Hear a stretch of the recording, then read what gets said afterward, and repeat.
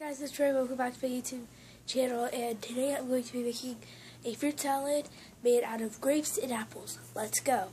So you take these shredded grapes and you just dump them into a bowl, and then you fill this up with water.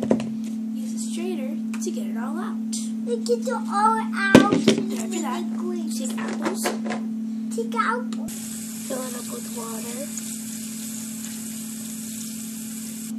then you just shake it I try around to until all the apples are clean. shake. Then you can take your strainer, just dump the apples into water, and then all the water out of it. And shake it so all the water's out. And then once you're done with that, with the grapes, you do the same things. You just fill it with water, shake it around, and just apples in here. And then all you gotta do is mix them around. How far? Just mix them around.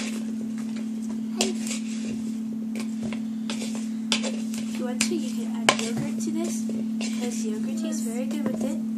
Now the banana.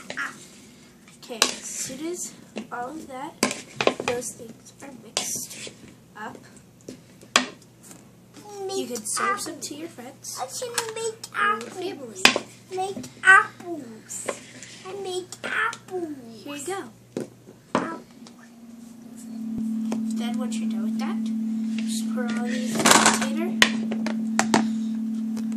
If you have the extras like I did, just put it in a container and then then put it in the fridge for next use. I hope you guys enjoyed my video of me making fruit salad for my fam. Um, please like and subscribe if you haven't already. And I'll see you guys next video. Bye.